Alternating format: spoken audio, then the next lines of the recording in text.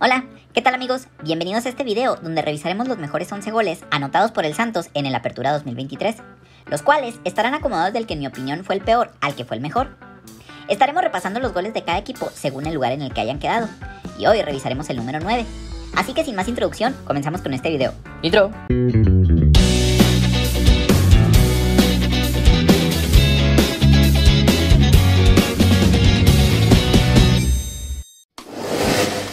Número 11. Empezamos con el enfrentamiento de León contra Santos del play-in.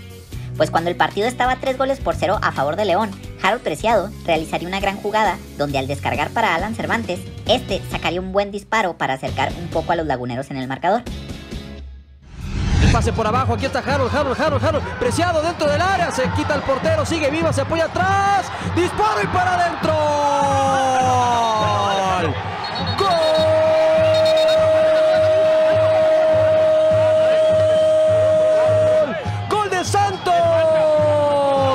Telcel 5G, la mayor cobertura y velocidad. Fue Alan Cervantes el que la manda a guardar al 71.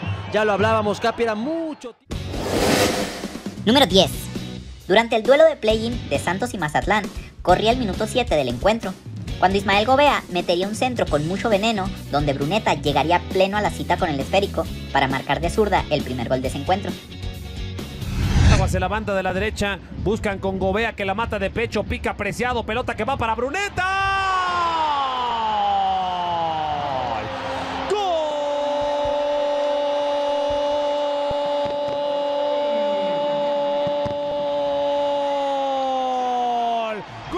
Anti, llévate un iPhone 13 incluido. Santos le dio la vuelta de izquierda a derecha y después Gobea metió un centro como con la mano. Y el futbolista más importante del torneo, el mejor. Número 9.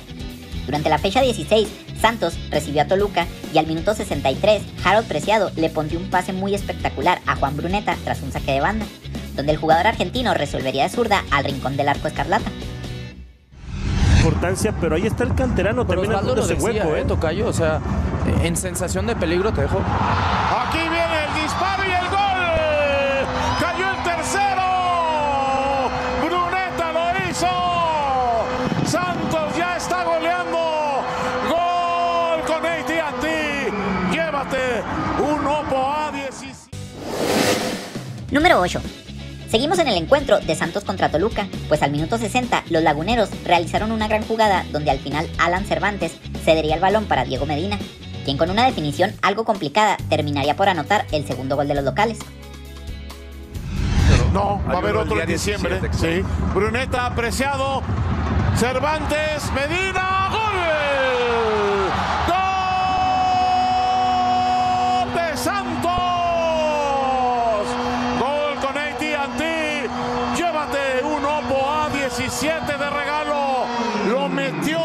Medina de Torreón, Coahuila. Llegó. Metió...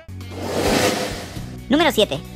En el duelo de América contra Santos de la jornada 13, un error en la salida del América le dejaría el balón a Bruneta, quien luego pasaría el esférico a Harold Preciado, y este bombearía el balón, anotando así el segundo gol de los guerreros en el partido se da la posibilidad de un rebote y ahí estaba donde tenía que estar. Sí, y acá viene Harold, preciado.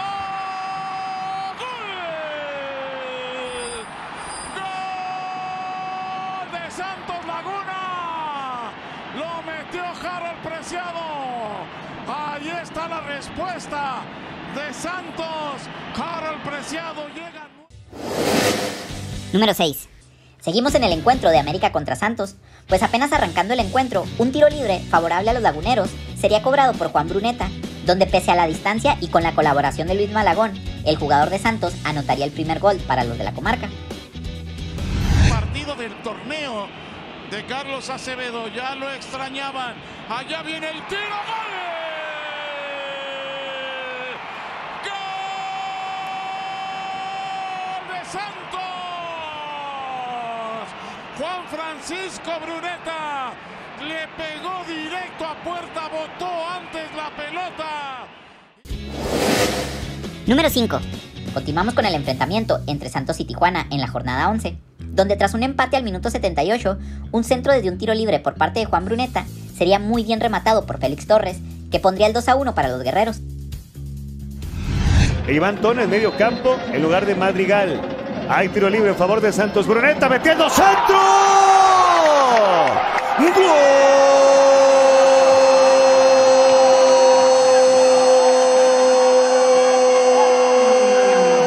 ¡Gol! Gol de Santos. Con ATT estrena iPhone. Número 4. Continuamos con el enfrentamiento de la fecha 5, donde Santos visitó a Tigres, y al minuto 46, tras un primer tiempo empatado, un contragolpe encabezado por Dubán Vergara y Juan Bruneta terminaría con este último anotando un gran gol para terminar la paridad. De la Facultad de Agronomía, todos los ingenieros y todo el personal que labora en la cancha del estadio. ¡El disparo!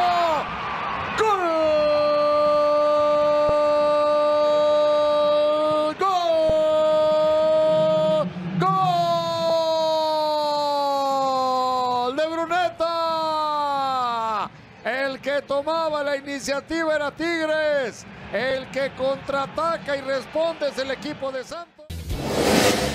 Número 3. En el partido de Pachuca contra Santos, al minuto 56, Ismael Gobea abriría el balón para Juan Bruneta, quien tras sacudirse su marca, sacaría un gran disparo que además de empatar el encuentro, le alcanzaría para subir al podio de los mejores goles de Santos. Buscando el costado, Bruneta tiene un buen control, luego esconde la pelota, la tiene Bruneta, Bruneta le pega gol. ¡Gol! De Santos Laguna, Bruneta, después de controlar, sorprende a Moreno, sacando un disparo potente al primer poste y se empate. Número 2. Durante el duelo de Mazatlán y Santos, tras ir perdiendo 1 a 0, los laguneros tendrían una oportunidad en ataque, donde tras una serie de rebotes y una confusión por parte de Mazatlán, Harold Preciado vería la chance de sacar un disparo muy lejano, que sería el empate de los guerreros. Va a recuperar aquí Mazatlán. Con algunos problemas, golazo. ¡Golazo del Santos! Y el número 1. Regresamos al duelo de América contra Santos para ver el mejor gol de los laguneros, donde Pedro Aquino descargaría para Emerson Rodríguez, quien de zurda pondría el balón muy angulado para marcar el empate a 3 en ese momento. Hizo un centro con las manos. La tiene Aquino. Encontró a Emerson. ¡Le pegó! ¡Golazo! ¡Golazo! ¡Golazo! ¡Gol de Santos! ¡Qué golazo metió Emerson! La controló. Le pegó de zurda y al ángulo. Si crees que el orden debería ser diferente, me lo puedes dejar en los comentarios. Y ya que están de buenas, apóyenme con un like, suscríbanse al canal y compártanlo con sus amigos por Facebook, Twitter, WhatsApp, Instagram o por el medio que ustedes prefieran. De esta manera puedo seguir con este proyecto. Agradezco mucho su tiempo y nos vemos en el próximo video. Bye.